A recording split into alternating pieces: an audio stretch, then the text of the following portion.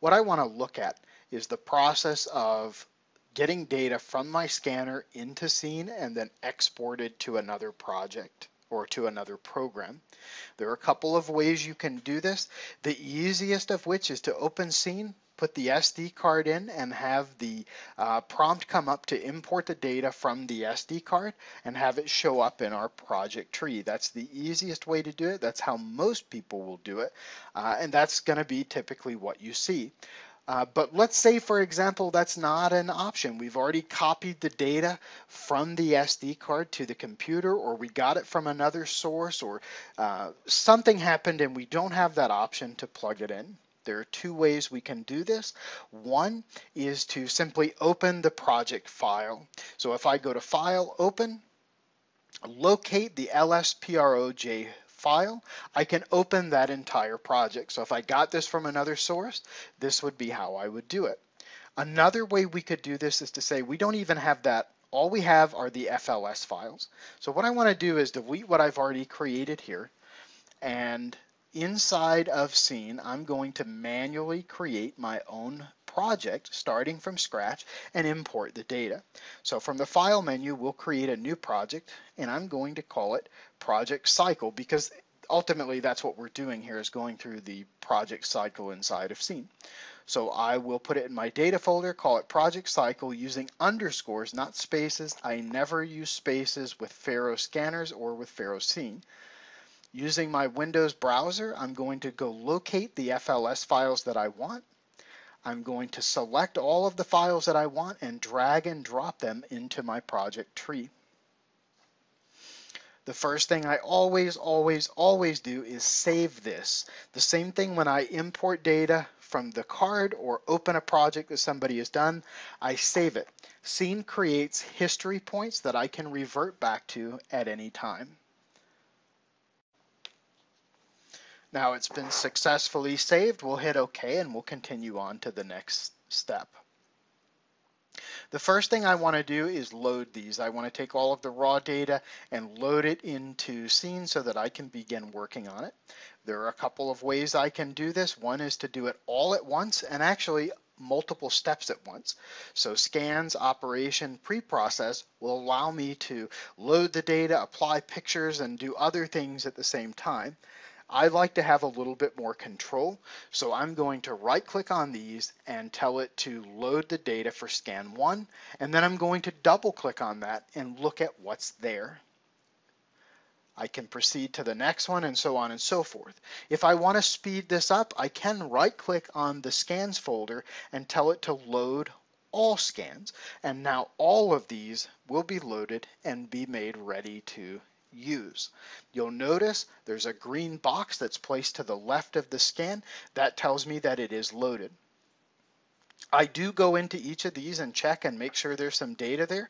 The last thing I want to do is start registering and realize, hey, we don't have any scan data. We wasted all this time. So I'll check them. I notice that they're grayscale only. My next thing is to apply the pictures. Same thing here as before. I can do this all at once, or I can go individually. So we'll right click, operations, color, and apply pictures. And we can do this for each individual scan. There's also an option to do it for all at the same time. I wait and allow it to apply the photographs and what's happening here is we're taking every measurement that was collected from the scanner, matching it to a pixel in an image, which is giving me full colorization. So we did that for the first one, and if you notice there's a star on the cloud now, that tells me the photo's been applied. So we'll move on to the next one and so on, or we can right click on the scan folder, operations, color pictures, and apply to all of the scans at once instead of doing each individually. This is user preference. Uh, the, the end results are going to be the same no matter how you do this. As long as you do these steps and check the data as you go, as our uh, former president once say, check but verify. We want to make sure everything's right as we go. So I'm going to go to Scan World 3 and verify that we have uh, pictures and uh, make sure everything's good before we move on. Once I've verified all of these, the next thing I want to do is save this. And up to this point, what I've done is I've loaded them and applied the color. So that's what I'm going to call that particular save. It's successfully saved to revision number two. We'll click OK and proceed to the next step. Now, for what we're about to do, there are multiple ways to do this. Uh, my way may not be the best way for you, but this is one way to get through this. One thing we can do is we can look at the scans individually before we get into the registration just to see how well they line up as they sit. Maybe we had the GPS and uh, compass feature turned on. From the View menu we'll tell it to view a correspondence view, and this shows me each of the individual scans, each with a different color so I can determine or differentiate one to another. What I can do in this screen is click on any of the scans. Using the minus button on my keyboard, I can shrink my little wheel here, and I can begin to move and rotate these into the correct horizontal location. I don't have to be exact because I'm going to rely on the registration to handle the rest of this. This is a way for me to roughly get these scan worlds in their correct position. If I can't see the one I want from the screen here, I can select it from the project tree, or I can reduce and zoom in out until I get what I want. Again, to make the wheel or the uh, uh, the, the gripper, however you want to call it, smaller. I use the minus key on the keyboard, and now I can move and rotate this scan into place, making sure that the three align before I move into my registration process or before I move any further in the registration process. All I'm looking for here is a rough alignment. Once I have it, I'll close the correspondence view and on the scan folder, right click, operations, registration, place scans. You have your three options. We're going to do the top view because we have no targets. I want to adjust my subsampling because we're outside towards high, and I'd like to keep the reliability in the middle of the slider bar. I let it process and tie these together and wait for the scan manager. The scan manager comes up and I'm given my street light showing me green, yellow, or red telling me how close they are. And now I can go in and look at the mean scan point tensions. Now I want to look at mathematically or numerically how close did what I do so far fit together. I'm looking for a value of 0.03 or better. Even though these are better than that 0.3, I still have a yellow light, not the green light that I'm after. So what I want to do is look at the scan point tension tab. That's kind of the next uh, step in what I look at to determine why it's not green. And what I'm looking at is the overall mean average, which is 0.05. That's above my 0.03. And the percentage of overlapping data that's used within my tolerance is only 17%. I like to see that number 50% or better. So we didn't meet our tolerance, but we may be okay to tighten this up using a cloud to cloud, which will actually use all of the points instead of just the uh, the structure data, my vertical features, walls and columns and things. So we'll hit OK on this window and move into the cloud to cloud. We can right click on our scan manager and tell it to update scans. This time we change our method to cloud to cloud. We want to adjust the subsampling level. Again, we're outside, so we'll probably take that slider bar and move it closer to high as opposed to uh, low, looking somewhere around a quarter of a foot. The maximum number of iterations will be 30. There's no reason for it to try any more than 30 times. And the search distance will be half a foot. Uh, within half a foot of each other should be adequate. We'll hit OK, and again, we'll wait for the scan manager, which we notice this time is green. That's what I want to see. I want to see that we're having some good results. We can actually look at the results and seeing the mean target and mean scan point tensions now, all below that 0.03 value we're after. And if we go to the scan point tensions, the overall mean 0.0036, well below that. And now we have 84.7% of that data being used, 84.7% of the overlapping data. That's good. That's what I want to see. I don't want to take any chances of anything bad happening to my registration or me losing it. So the first thing I want to do is right click on the scan manager and lock it. Once the scan manager is locked, I want to save this store point as a registration point so I can revert back to this if I need to. Once it's saved, there are different directions we can go. We can look at different things.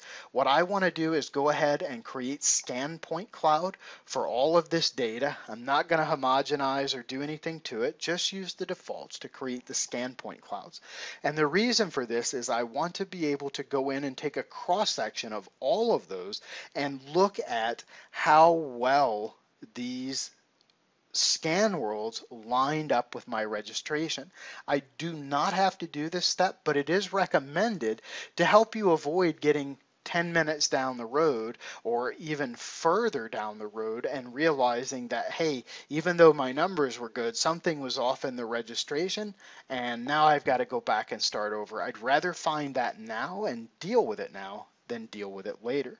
So once I've done those, I'm going to right click on the scan folder and view the correspondence view again. I like the correspondence view because it shows each scan world in a separate color. That's always a good thing. Then what I want to do is apply a clipping box. So in my toolbar, I will grab a clipping box. And I'll have to slide my toolbar out a little bit because my uh, resolution is not quite adequate for this. So I'll adjust some things around and I'll hit create a new clipping box. That puts a clipping box on my uh, data so I can begin to analyze only what I want to see.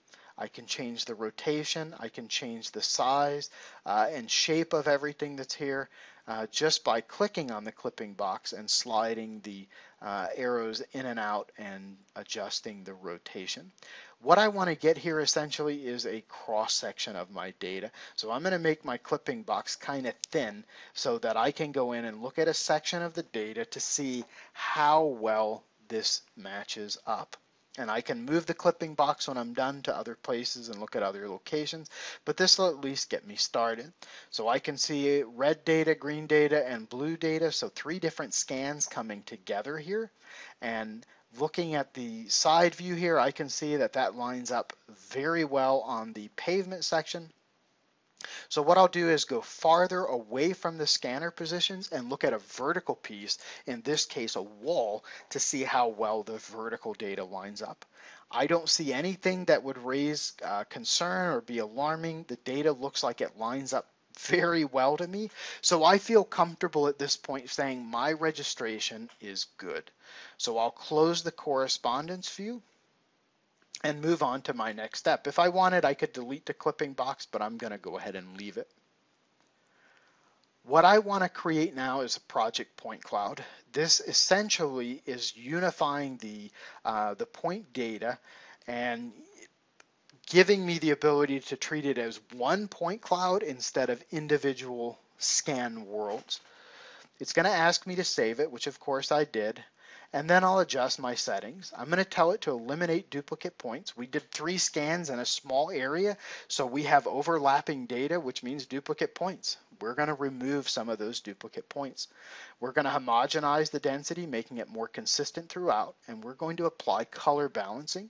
So if I have scans where I have two different lighting conditions, we will have a better balance of those colors. Once it's finished, it's going to pop up and show me how long it took to complete the point cloud. So this took a minute and two seconds. We hit OK. And now if you notice the scans are all unloaded, now we're ready to start working with the 3D view. So view, 3D view, and we see all of our scans except for we left our clipping box on, so we're actually seeing our clipping box. But we can work with our clipping box uh, and do a few key functions with the clipping box. Let's say, for example, I want to remove data. Once I get the view oriented the way I want, uh, using any of the rotation tools, I can adjust the uh, the clipping box to cut out as much as I want to see or don't want to see. In this case, I'll go to the base of the trunk of the trees because I want to cut the trees out. So what we can do is in the tools, we can select a point cloud polygon and window around the data that we want to get rid of double click to close. Clicking outside of the clipping box, we can right click and say delete. So that data is now removed.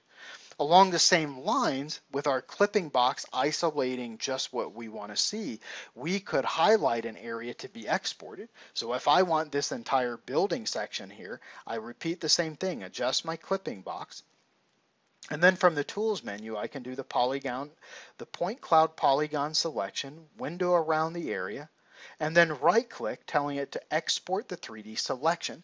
Now only what I selected is what will be exported. I can go in various formats including PTS and E57 depending on what the project or what the program I'm using goes to. I'll delete my clipping box because I really no longer need it here. And like I did with the, the clipping box area, I could now use that same selection function to window around all of the data and simply do that same right click export and do the 3D selection, picking the format again that is recognized by the program I'm using. There are many ways to do this. This is a simple start to finish that I use regularly.